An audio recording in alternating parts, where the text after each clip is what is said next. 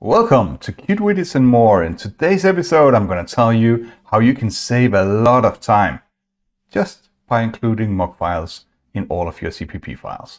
Hang on for all the details.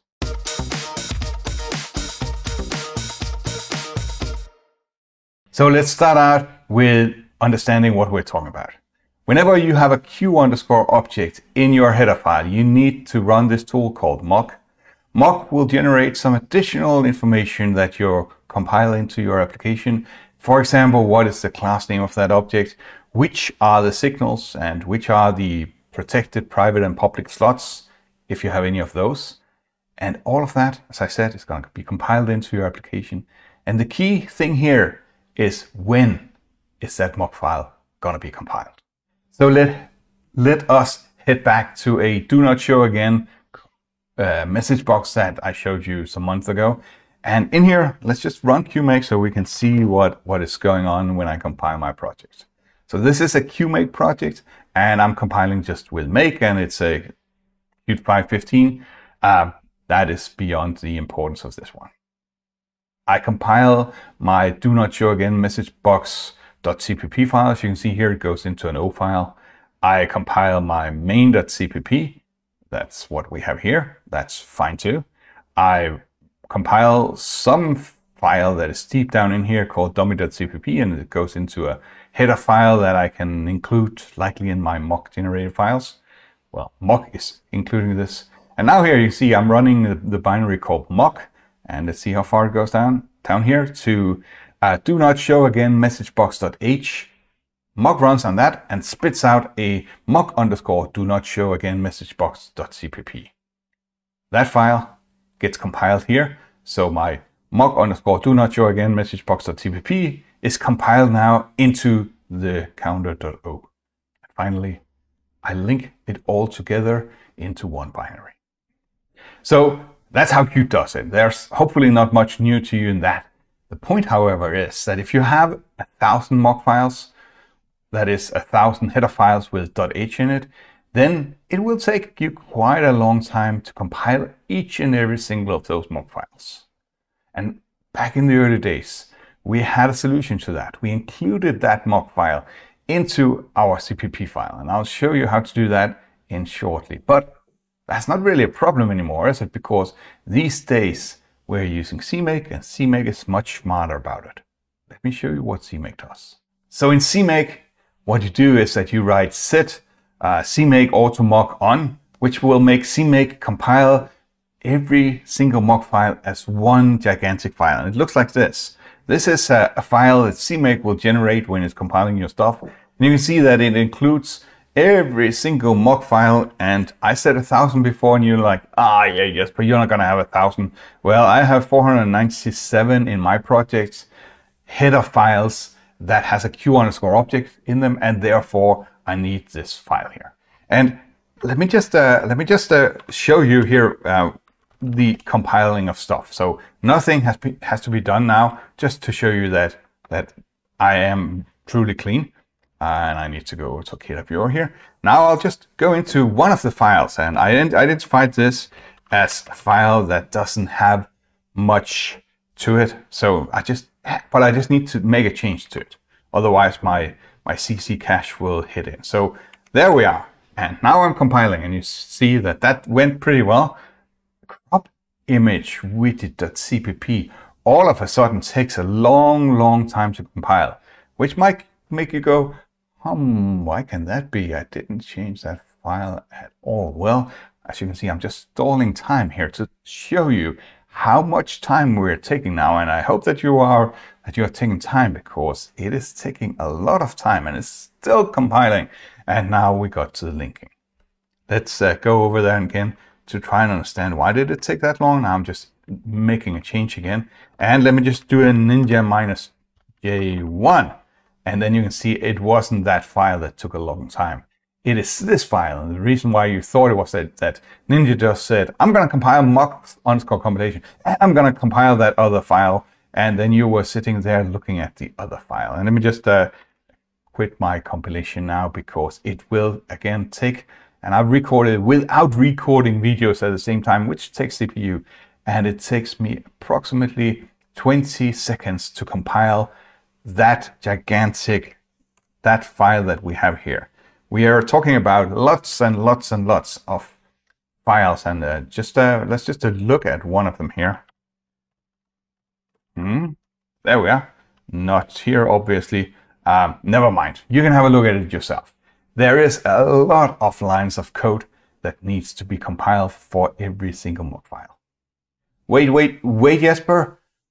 You didn't add Q underscore object to any files. You didn't touch or add any signals. You didn't add or touch any private protected or public mm, slot section. So why did you need to rerun moc? Well, I didn't say that I needed to rerun moc. I told you that I needed to re recompile the moc file. And that's because that the moc file is included the header file. And therefore, it needs to be recompiled. And that gigantic CPP file with 500 includes in it of all the moc files needed to be recompiled. A lot of work for just a small, tiny little change. So what's the solution? Well, the solution is, as I hinted in the beginning, to include the moc file in all of your CPP files. That means that whenever you change the header file, the moc file needs to be recompiled and therefore the CPP file. But in any case, you're almost always recompiling the CPP file when you're compiling the header file, when you're changing the header file. So that needs to be done anyway. Let me show you in real life how fast it is now. So what I did was that I went to my CPP file and included this moc underscore crop image scene.cpp, which is the moc file generated from the header file.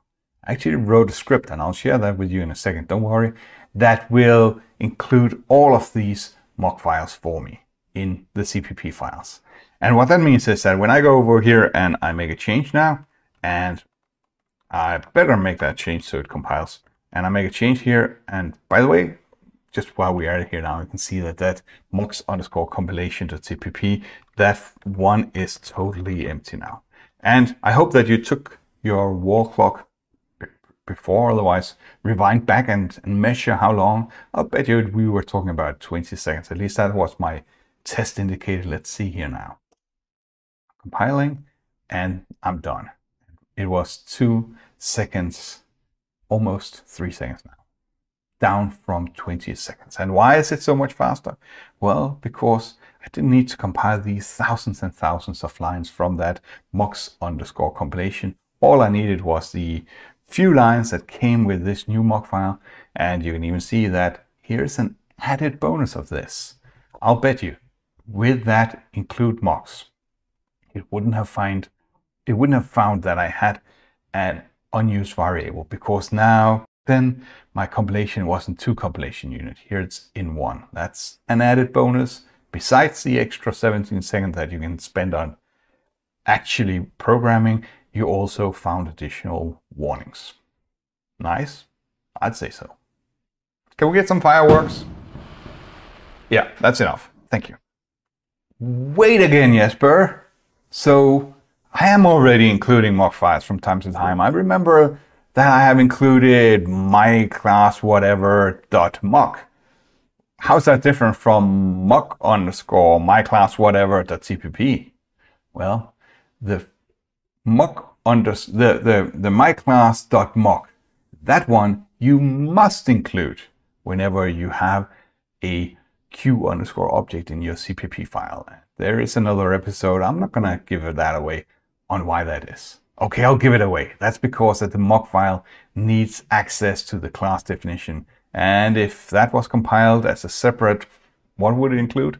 The CPP file, then we'll have duplicate symbol. So that's moc, no, my class underscore moc. That's when you have Q underscore objects in your CPP files. What we're doing here is that I have my Q underscore object in my header file and Qt, well, QMake and CMake are perfectly okay to cope with that, but we do instead include them ourselves just for the speed up as we just saw. And in that case, there is this convention between QMake and Qt and CMake and Qt that the file is okay to include if it's called moc underscore my file whatever dot CPP. Okay, including the moc files like this in all of your CPP files is going to be a lot of work. And it's going to be annoyingly that you'll forget to update them. So for that reason, I wrote a small Python script that is in KDToolBox. There's a link below. And what that script does is two things. First of all, it updates the files uh, accordingly, but there's also a Git hook with it. And the Git hook will, you just put that in your system and then whenever you are making, about to, to make a commit, it will run the include mocks again to verify whether there's anything that needs to be updated. And if so, it will tell you, hey, you need to update that. Let's see it all in action. So what you can see here in my KDE viewer source code, I have third party, that's where my third party stuff is, KDToolBox, and inside there, Qt include mocks, include mocks.py, and run that minus h will print out what it does. So I've been a good citizen and made it very useful. There is uh, a few different ones here. The first one we can look at is minus n. And what I did was that I actually removed it from one of those. But as you can see, it's also complaining, hey, there's a lot of other stuff. And uh, yeah, I don't want to have all of these. So I can say, uh, let's just do down here, minus minus excludes third party. Course, I'm not going to include mocks in those third parties that I'm using. So there we are. Now we're down to this one. And of course, my include, my minus minus includes can specify multiple directories. And I changed the, the uh, crop my scene from here. I just removed it again and you can see it's complaining. And without the minus n, well, it'll just do it. It'll update the file and Qt Creator will say, hey, that file changed. And it added it to the file like this. There is a bit of support if you need it and let me know if you actually uh, need more support for, for this or if you have ideas how I can improve it. So there is a support for running it from a different directory. If you for some reason need to be in a different directory, you can specify another directory as a parameter here.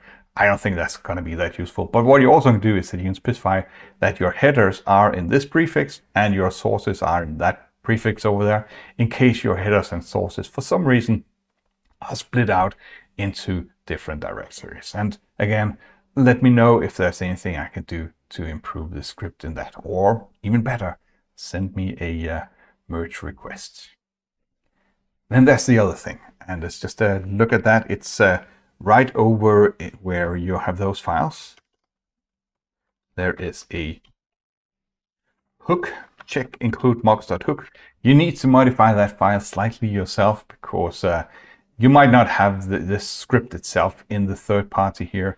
Uh, you might not want to exclude third party like this. So take this hook and modify it to whatever need you have. And the result is that whenever you commit something, the hook will test whether you have included your moc files all the places. And if not, it will prevent you from committing. There's a link below where you can learn more about Git hooks if you haven't watched that yet. Uh, that's a previous episode that I recorded on that.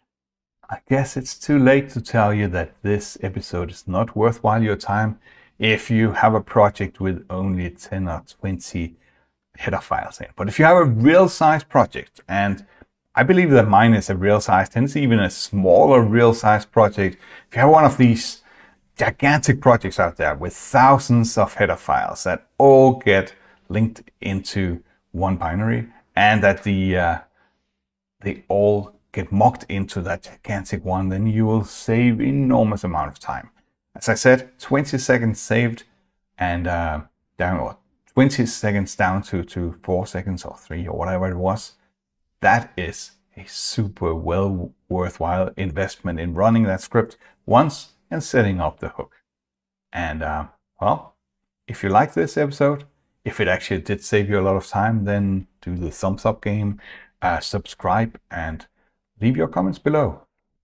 And until next time, have a great day.